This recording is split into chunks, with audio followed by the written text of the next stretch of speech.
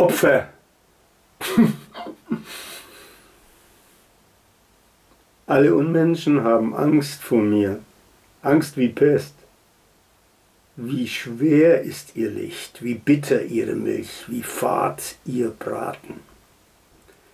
Schwer bewaffnet schleichen sie um meinen Duft, den zittrigen Finger am Abzug, das Fadenkreuz pendelnd von Stirn zu Blut.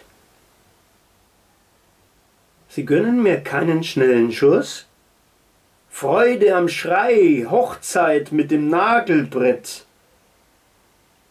das Ungeborene aus dem Leib sägen. Genau davon versprechen sie sich ihr Wachstum.